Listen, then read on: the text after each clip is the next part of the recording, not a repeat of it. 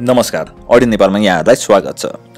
तिसौँ अधिवक्ता लाइसेन्स परीक्षाको लागि निर्धारित नजिरहरूमध्ये कार्यविधि कानुन विषयका नजिरहरूको रेसिडेन्सी नीति यस प्रकार रहेको छ। पहिलो नजिर निवेदक यज्ञप्रसाद सुवेदीको छोरी सान्त्वना सुवेदी समेत। विरुद्ध सहरी विकास मन्त्रालय सिंहदोरा काठमाडौँ समेत मुद्दा उत्प्रेषण परमादेश नेपाल कानुन पत्रिका दुई हजार पचहत्तर अङ्क नौ पृष्ठ सत्र सय छैसठी निर्णय नम्बर दस हजार एक सय दुई संयुक्त इजलास।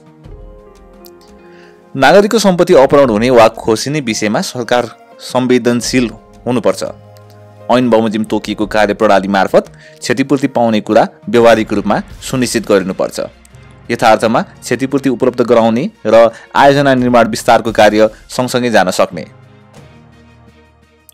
क्षतिपूर्ति कसले कहिले पाउने भन्नेबारे आयोजनाले पारेको प्रभावको आधारमा क्षतिपूर्ति पाउने व्यक्तिहरूको वर्गीकरण हुन सक्छ। उदाहरणको लागि घर बाँच्ने गुमाउने वा सम् वा सम्पूर्ण सम्पत्ति गुमाउनेहरू क्षतिपूर्ति पाउने प्राथमिकतामा पर्न सक्छन् भने न्यूनतम गुमाउने वा आयोजनाबाट लाभान्वित हुनेहरू प्राथमिकतामा पछि पर्न सक्छन्। त्यस्तै स्थिति साङ्केतिक रूपमा क्षतिपूर्ति साङ्केतिक रूपमा क्षतिपूर्ति पाउने अवस्था रहेकाहरूको पनि हुन सक्छ। यसबारेमा सरकारले निर्णय गर्न नपाउने भन्ने हुँदैन र अदालतले त्यस्तो गर्न पाउँदैन भनेको पनि छैन। सम्पूर्ण आधार र कार्यप्रणाली न्यायपूर्ण हुनुपर्छ भन्नेसम्म यस अदालतको दृष्टिकोण हो।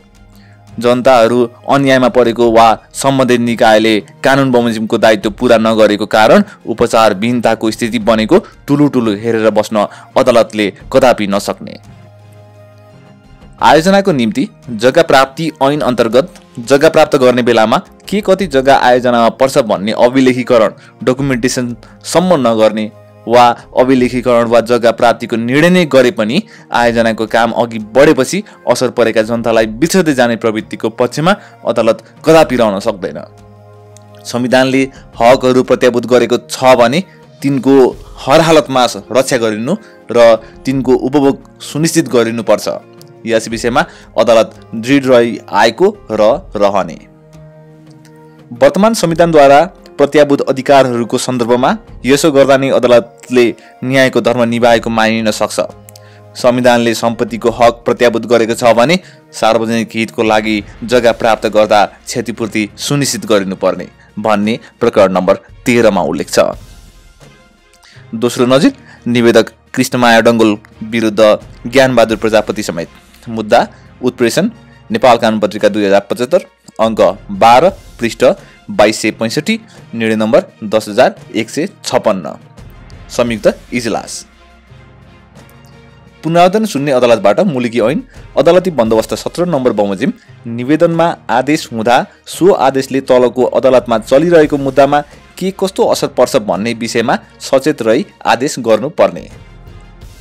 अदालती बन्दोबस्त सत्र नम्बरको निवेदनको रोहमा हुने आदेशबाट कुनै पक्षको हक स्थापित हुने नभई तल्लो अदालतमा मुद्दाको कारवाही हुँदा म्याद नागेको वा रित बेरितसम्म हेरिने हो।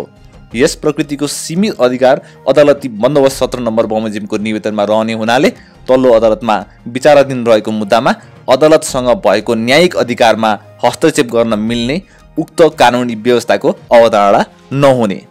भन्ने प्रकरण नम्बर तिनमा उल्लेख छ।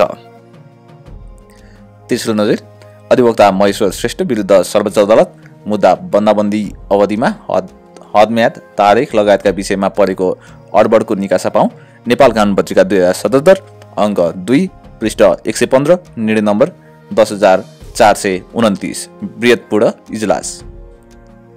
मुलुकी देवानी तथा फौजदारी कार्यविधि संहिता लगायतका प्रचलित अन्य कानुनमा रहेका हदम्याच थप सम्बन्धी व्यवस्थाले वर्तमान विपद वा महामारीको कारणबाट पैदा हुने जटिलतालाई पर्याप्त रूपमा सम्बोधन गरेको देखिन नआएकोले वर्तमान अवस्थामा प्रचलनमा रहेका ऐन वा संहितामा रहेको प्रावधानको व्याख्या गरेर मात्र यो विपद परिस्थितिको कारणबाट उत्पन्न जटिलताको सम्बोधन हुन सक्ने अवस्था नदेखिने भन्ने प्रकरण नम्बर तेह्रमा उल्लेख छ।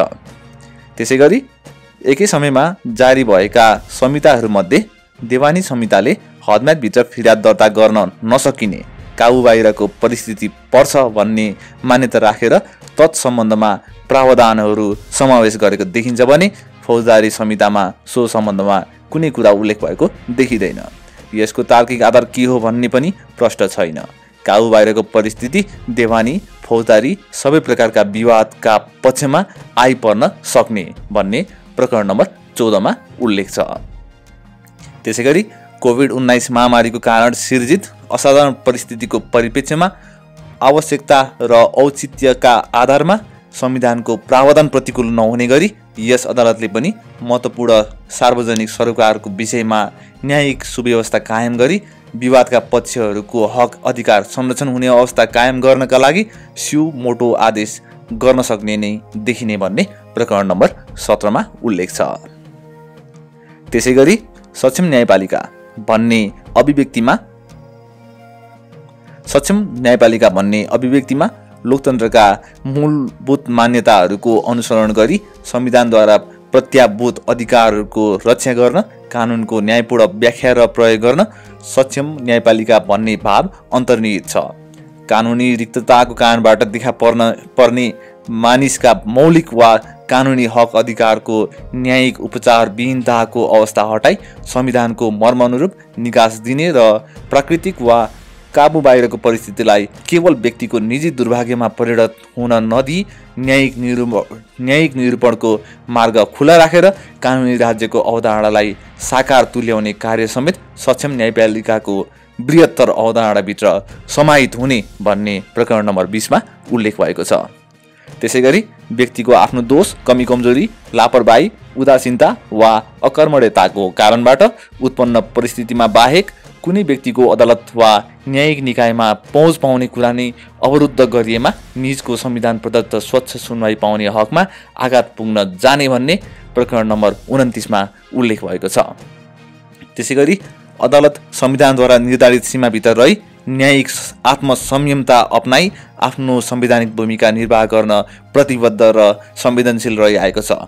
प्रस्तुत सुनवाई केवल कोभिड उन्नाइस महामारीको प्रतिकूल परिस्थितिका कारणबाट उत्पन्न भएको र निकट भविष्यमा आइपर्ने कानुनी जटिलता वा कठिनाइलाई सम्बोधन गरी न्यायमा सेवाग्राहीहरूको पहुँच कायम गर्ने सरकारवालाहरूको स्वास्थ्य सुविधा कायम राख्ने स्वच्छ सुनवाईको प्रत्याभूति दिने र सार्वजनिक हक हित र सरकारको रक्षा गर्ने कुरामा सम्म परिलक्षित छ।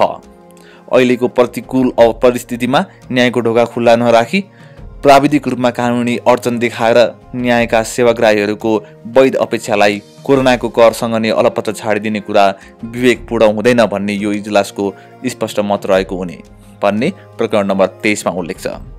त्यसै गरी अदालतबाट प्रदान हुने नियमित सेवा प्रभाव बन्द गरिएको मिति दुई हजार छयत्तर साल चैत नौ गतेदेखि बन्दाबन्दी लकडाउन खुलेको मितिसम्मको अवधिलाई न्यायिक काम कारवाहीको प्रयोजनका लागि शून्य अवधि जिरो पिरियड मान्ने।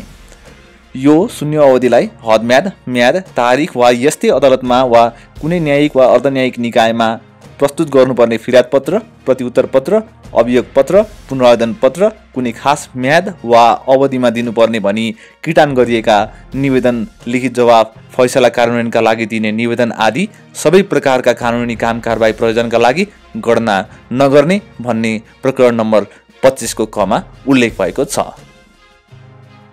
च्यानल लाइक सेयर र सब्सक्राइब गर्न नबिर्सिनुहोला।